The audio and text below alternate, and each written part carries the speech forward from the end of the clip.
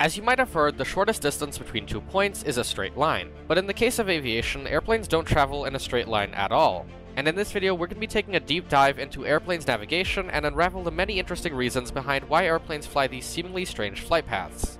When we look at a flight map during a long distance trip, it's common to notice that the plane follows a curved path instead of a straight line between two points. This is easily noticed on flights between Europe and the United States, where airplanes fly over Greenland and northern Canada instead of following what seems to be a shorter route from point A to B. This curved path happens for a very simple reason, but it's often overlooked, and that is that the Earth is spherical and not flat. We usually see these curved flight paths on maps, more specifically the Mercator projection, a map which distorts certain proportions of Earth. So while on a map the flight path might look curved, if you actually looked at it on a globe, you would notice that it's actually the most direct route. And on the contrary, a straight line on a map will look curved and longer on a globe. That being said, there are certain map projections, like the Lambert conformal conic projection, which show straight lines as the most direct routes accurately, but these map projections are much less common to find. Anyway, back to the Mercator projection, a curved flight path is often called a Great Circle route, but it's also known as orthodromic navigation which basically means that if you took a line of the flight path and cut Earth in half on that line, you'd be left with two evenly sized halves of Earth. On the other hand, a straight line on the map crosses all the meridians at the same angle, and is therefore called a rhumb line, or sometimes referred to as loxodromic navigation. But that isn't the only reason airplanes don't fly in straight lines, and the reason I just mentioned only concerns long flights anyway. So what's the explanation for all the other flights that zigzag their way towards their destination? Well, I'll get into that after this short message from today's sponsor. Aircraft Vibes makes amazing home and office decorations for aviation lovers. They create beautiful silhouettes of airplanes which you can hang up on your wall or put on a shelf or a desk. They have dozens of different airplanes to choose from and come in many different sizes.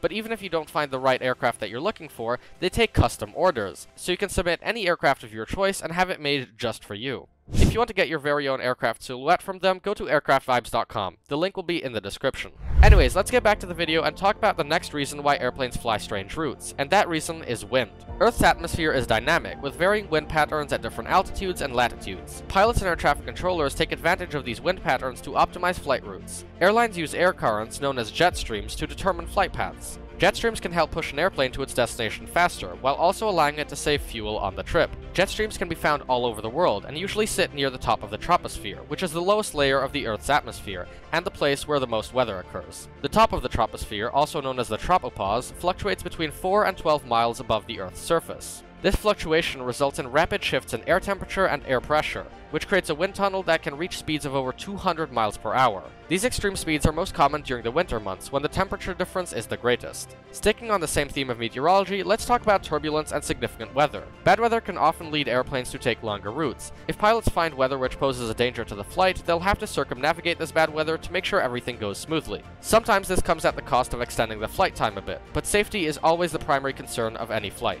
The last reason behind airplanes taking strange flight paths is due to air traffic control, commonly referred to as ATC. Controllers have to deal with several airplanes in their airspace. If every airplane is flying directly to their destinations, it would be extremely challenging for the controller to make sure proper separation is maintained between all the airplanes. For this reason, airplanes fly through designated airways, which are basically like invisible roads in the sky. These airways connect several waypoints placed all over the world. Airplanes usually fly through these waypoints, which helps air traffic control keep the planes flying in predictable ways. Lastly, when airplanes come in to land at an airport, they come in from all sorts of different directions, depending on where they are flying from. Airports often implement standard routing to lead all airplanes into the airport in an organized manner. These standard routes are called STARS, short for Standard Terminal Arrivals. The same standard routes exist for departing aircraft, but instead they're called SIDs, Standard Instrument Departures. So the next time you gaze out of an airplane window and why your airplane is going left and right and not just flying straight, think about all the interesting factors which guide your airplane to the destination.